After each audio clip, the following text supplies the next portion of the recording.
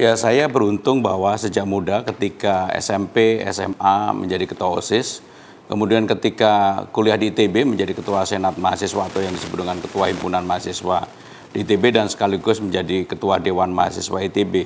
Tentunya inilah yang secara langsung tidak langsung membentuk diri saya sehingga menjadi organisatoris dan juga uh, lebih luas dan lebih gampang bersosialisasi karena memang dari waktu ke waktu uh, selalu mengorganisasikan diri dan juga belajar tentang organisasi sehingga dengan demikian saya merasa beruntung bahwa uh, ditempa pada saat muda.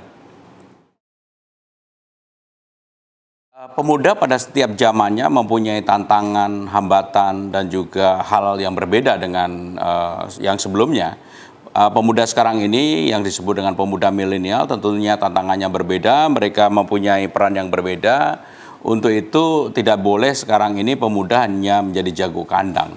Mereka harus melihat dunia luar yang sudah berubah, teknologi yang sudah berubah, apalagi sekarang ini uh, negara sudah tidak lagi berjarak sehingga pemuda Indonesia diharapkan mereka untuk bisa berperan dan bertanding di dunia internasional. Dan itulah yang harapannya karena bagaimanapun Indonesia sudah menjadi anggota G20, Indonesia sudah dianggap sebagai negara dengan demokrasi yang sudah mulai mapan, maka peran pemuda, pemain milenial internasional ini menjadi sangat penting sekali. Ya, pada tiga tahun pertama pemerintahan Pak Jokowi, Pak JK memang fokusnya di infrastruktur. Tapi dua tahun terakhir ini adalah menyiapkan kesiapan menghadapi bonus demografi yang diperkirakan akan jatuh kurang lebih pada tahun 2030 sampai dengan 2040. Maka dengan demikian bonus demografi ini harus menjadi kekuatan bagi bangsa ini, jangan kemudian menjadi liability.